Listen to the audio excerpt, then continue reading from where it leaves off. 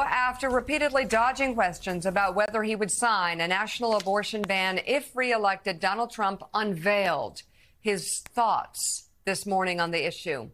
In a four and a half minute video posted on Truth Social, the former president said he supports IVF treatments. Well, that's nice. Once again, he said he is proud to have ended Roe v. Wade and said the issue should be left to individual states. Many people have asked me what my position is on abortion and abortion rights, especially since I was proudly the person responsible for the ending of something that all legal scholars, both sides, wanted and, in fact, demanded be ended Roe v. Wade. My view is now that we have abortion where everybody wanted it from a legal standpoint, the states will determine by vote or legislation or perhaps both and whatever they decide must be the law of the land, in this case, the law of the state. Taking some breathing exercises here, and I'm going to go to Jen Palmieri and just say many people say that's why a lot of voters will go Democrat on election day because of what he did to women's health. He uh, he made the overturning of Roe v. Wade possible. He is proud to do that.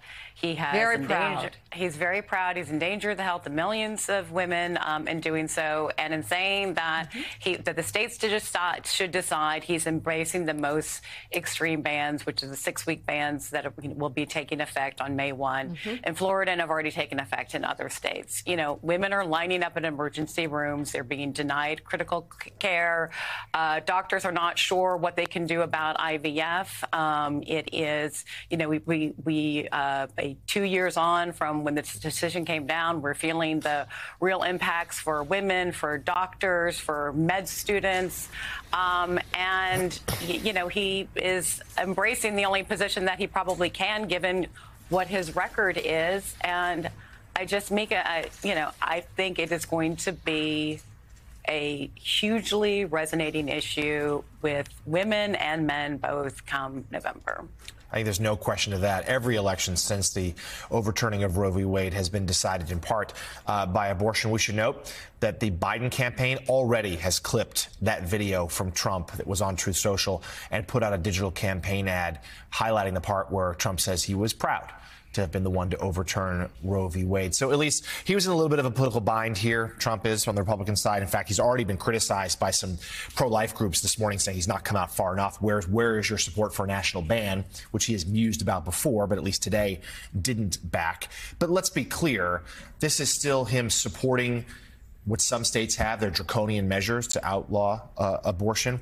He is touting his, that he is the ones who appointed the Supreme Court justice who overdid what had been set law. Um, this is not going to be an issue he can outrun. It, it's and it's it's a, and the Biden campaign is going to look to capitalize. I'm surprised that he actually jumped into the fray because I did think that he was going to try to just keep avoiding, avoiding, avoiding, and saying, making vague statements and not really giving that much to be pinned down on. So, in that sense, I'm surprised that he, you know, made went was proactive and went forward on this. He knows it is his worst issue coming up in 2024.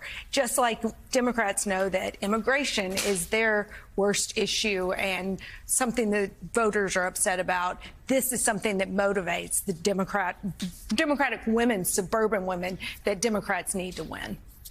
Yeah, and, and you know, Elise, the thing is, he's he's in the middle here, uh, as far as he's going to be uh, picked apart now by uh, both sides. And um, his position, though, by adopting the Florida uh, ban, the six week ban, and all the other bans out there that are draconian, uh, draconian such an extreme position.